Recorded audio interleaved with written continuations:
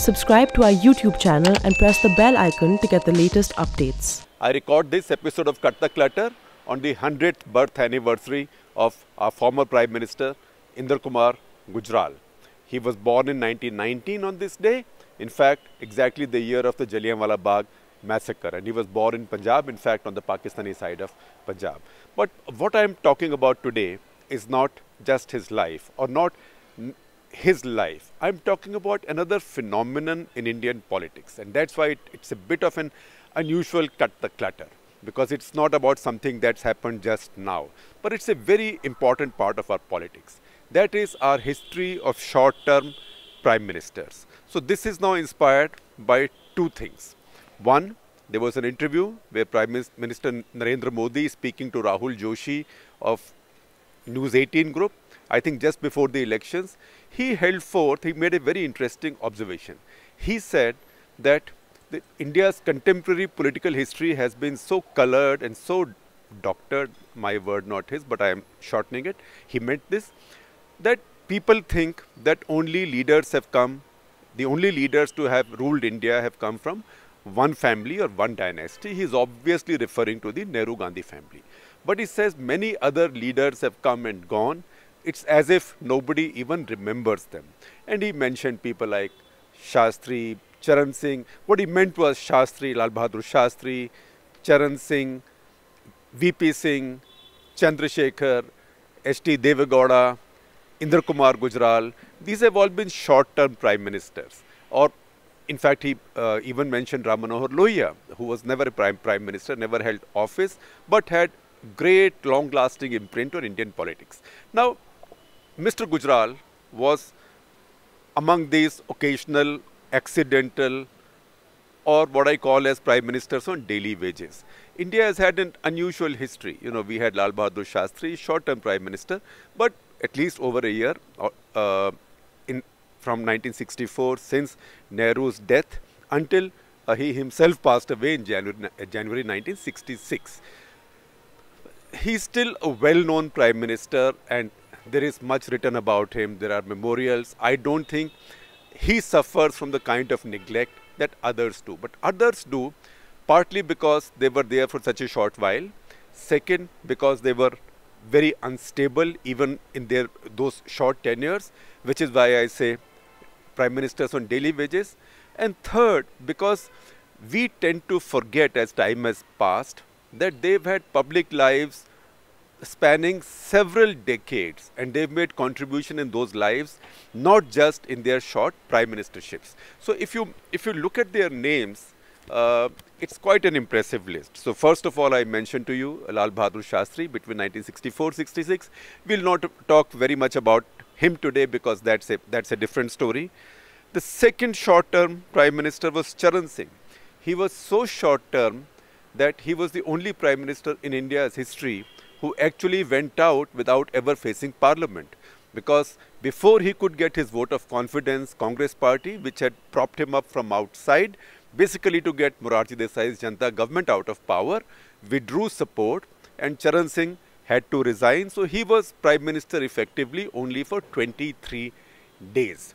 And then he was caretaker until the elections and until the, until the return of Mrs. Gandhi uh, post-emergency, post-emergency, post-Janata.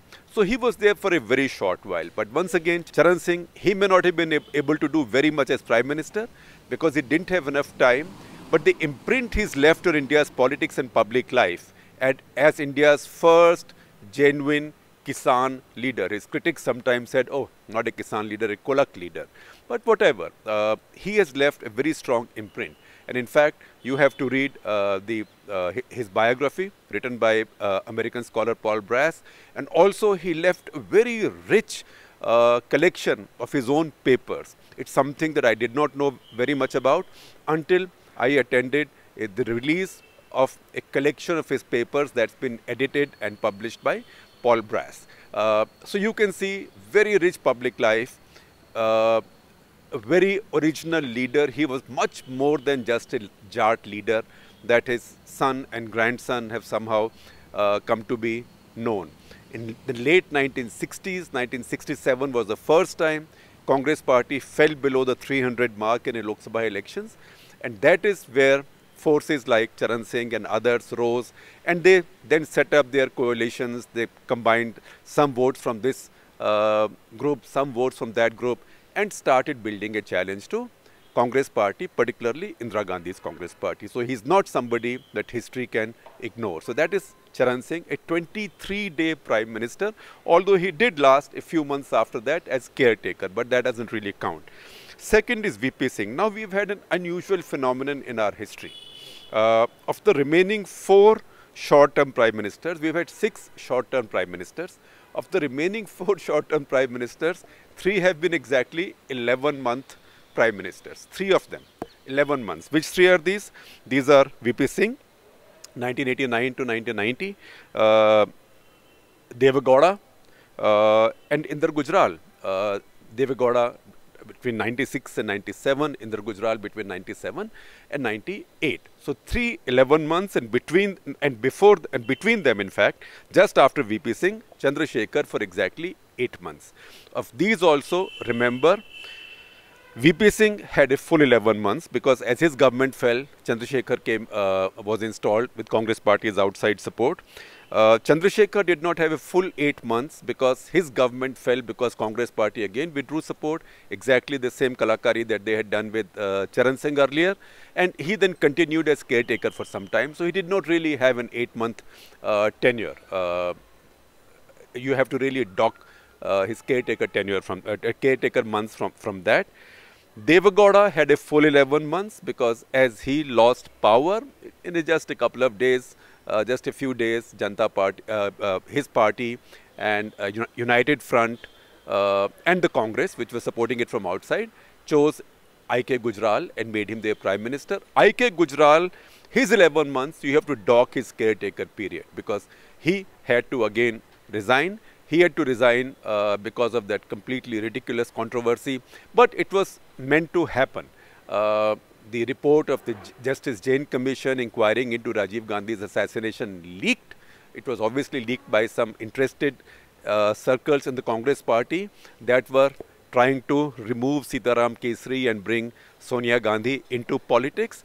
And that leaked passage suggested that Tamil Nadu's DMK if not directly, then at least vicariously had something to do with Rajiv Gandhi's assassination. So the question came, how can Congress party keep on supporting uh, a coalition of which DMK is a part? And that's the reason that coalition fell apart. It's besides the point that since then, DMK has almost always, in, fact, for most of the time, uh, been Congress party's uh, ally, loyal ally in Tamil Nadu. It still is. So politics is you, don't, you don't complain about hypocrisy in politics. That's part of life. So that's how Gujral fell.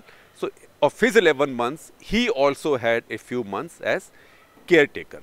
Now look at the tenure and contribution of these. We talked about Charan Singh very briefly, uh, but look at VP Singh.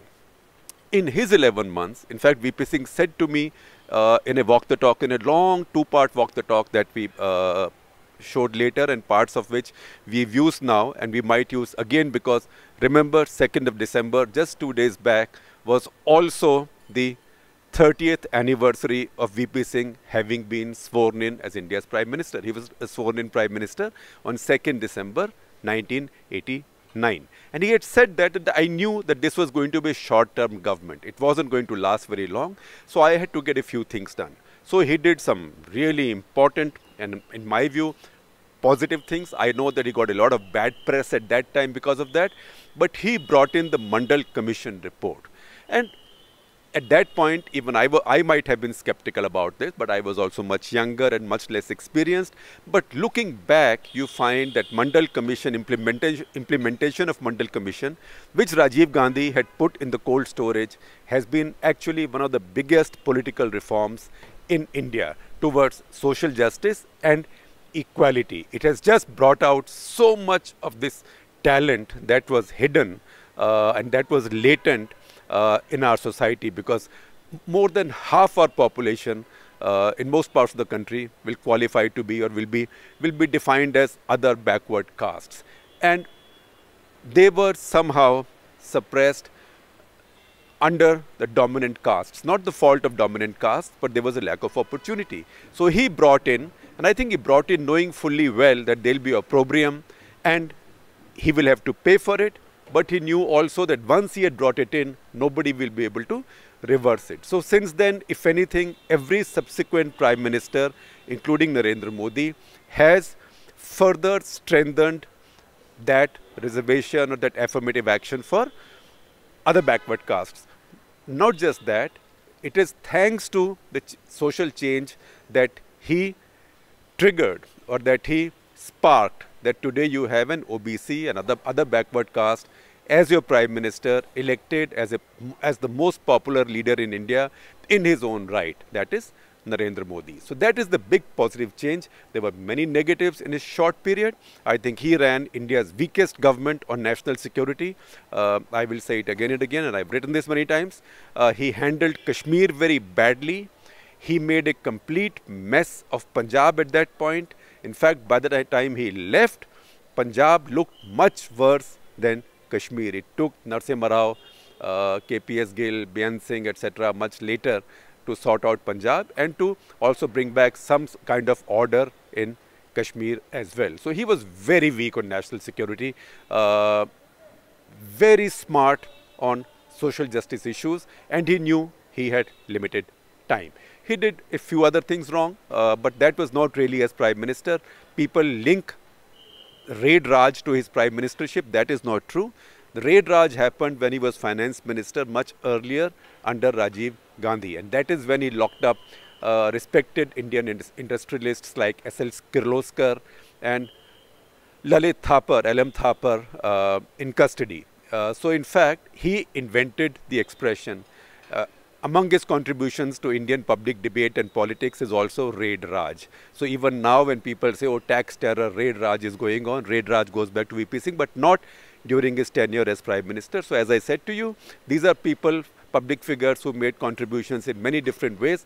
When he was Chief Minister of UP, for example, uh, he took the toughest action against dacoits of Chambal and places. And it's, it was in reprisal for that that his brother, who was a judge in the High Court, was assassinated apparently by dacoits. So that is the rich history of uh, VP Singh. Later, uh, he helped, he first of all, he was instrumental in getting Rajiv, uh, Rajiv Gandhi out by running the Bofors campaign.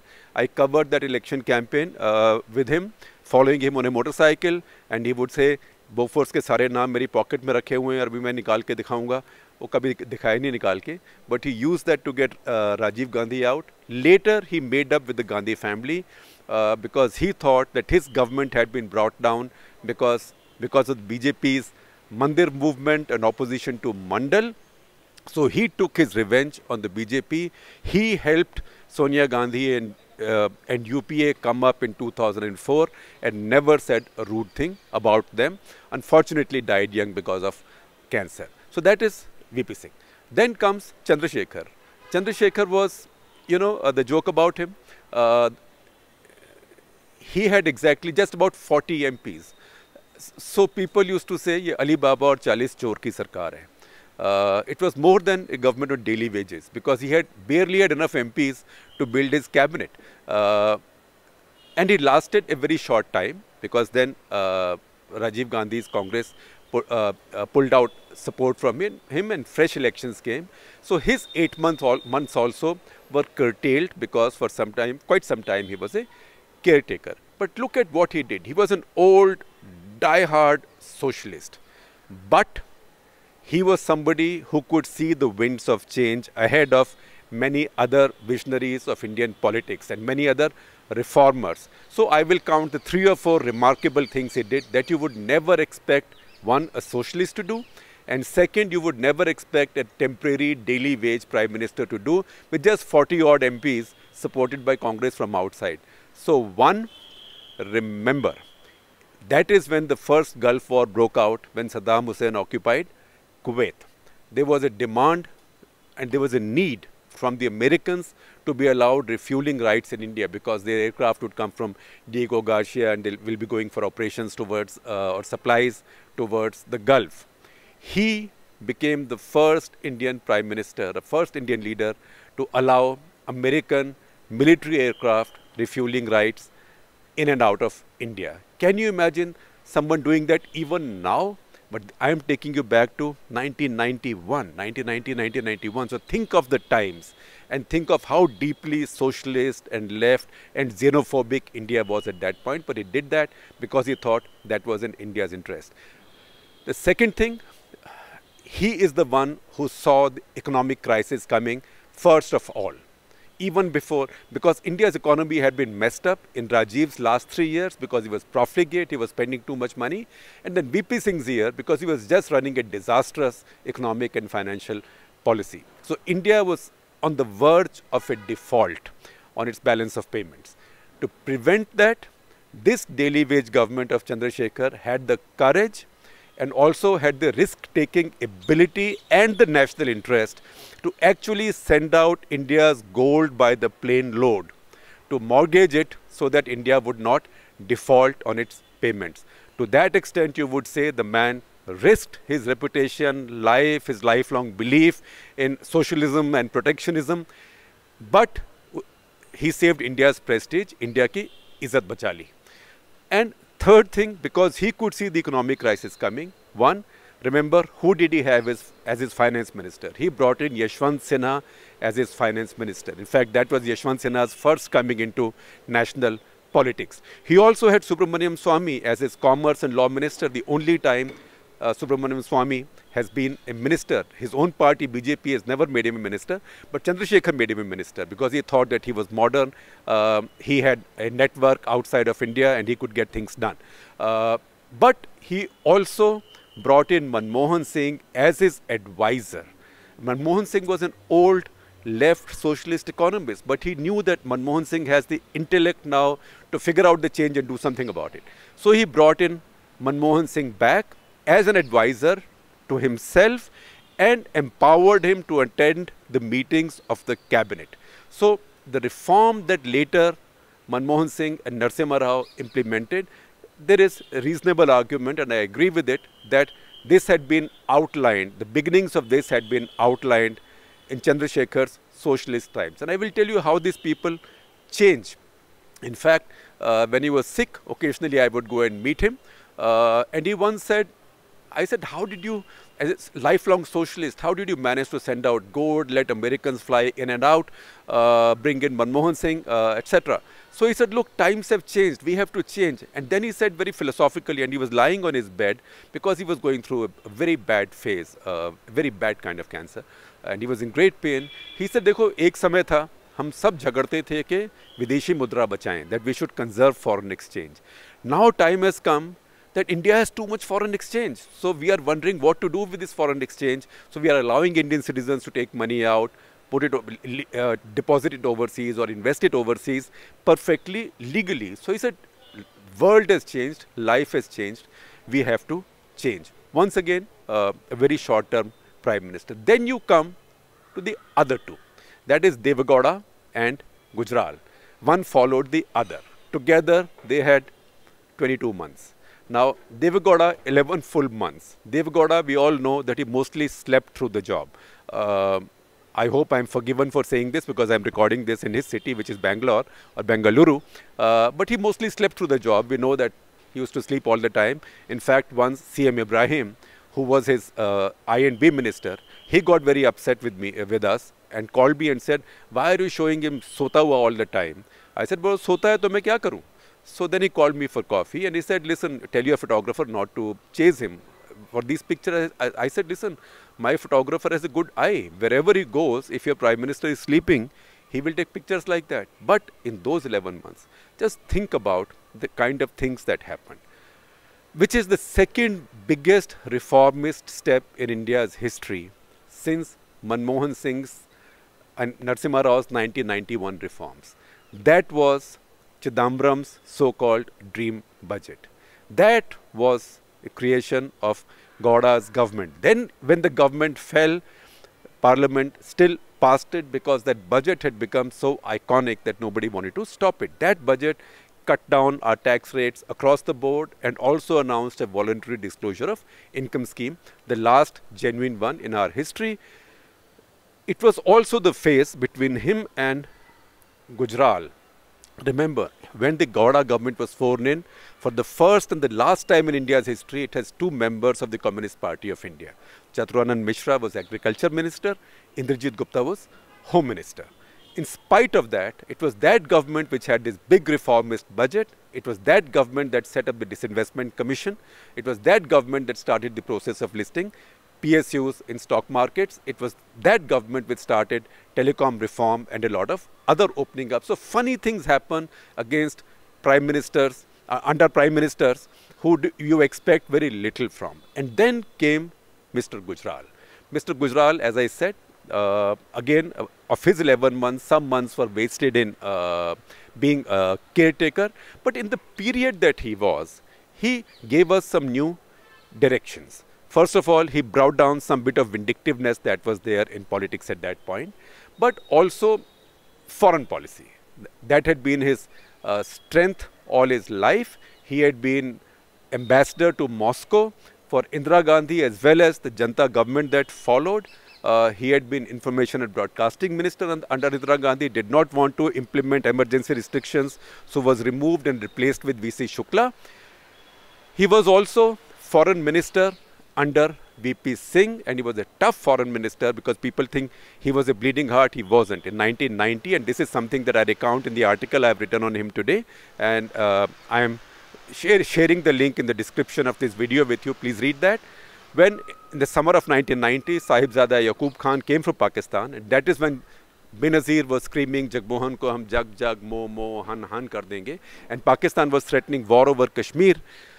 Yaqub Khan threatened that in case there is a war, Pakistan will use nuclear weapons and on day one of the war. In fact, the exact line he used, which I learned from uh, Mr. Gujral later, and these are all documented, detailed figures by Seymour Hersh, by Bob Windrem, uh, by many of the accounts in India, and later confirmed to me by VP Singh on Walk the Talk on the record.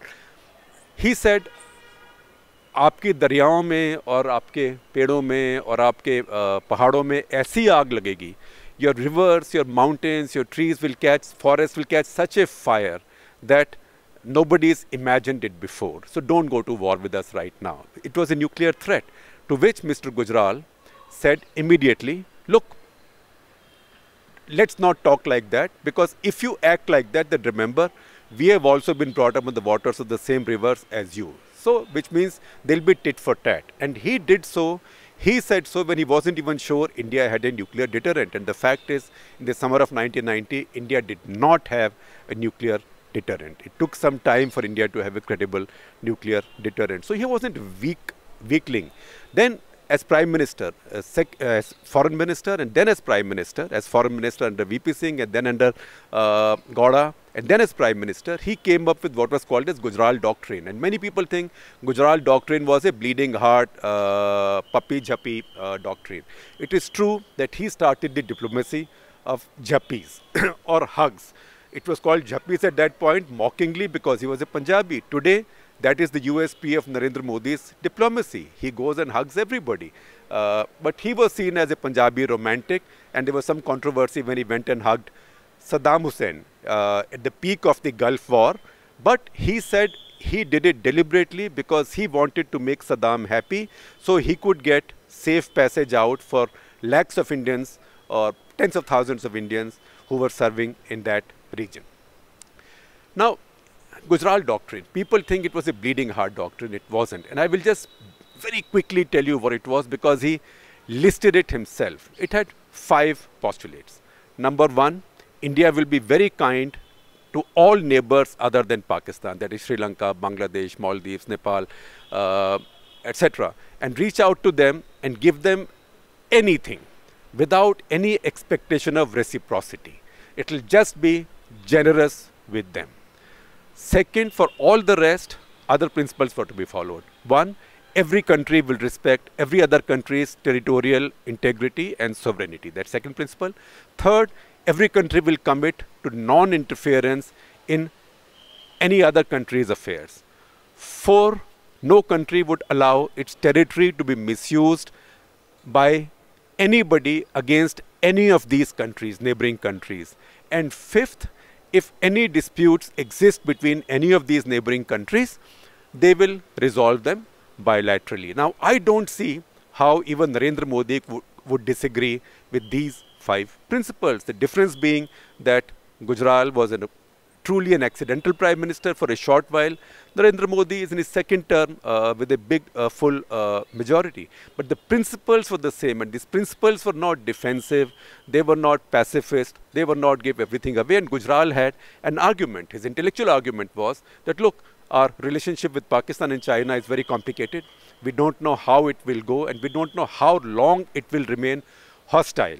So if we have to deal with those two neighbors, we can't have hostility with all other neighbors also, smaller neighbors also. So let's reach out to them and make friends with them. So once again, not enough time for him. Uh, but each one of these prime ministers, as I told you, uh, including Charan Singh, not as prime minister, but as a public figure, he brought the farmer mainstream into Indian politics.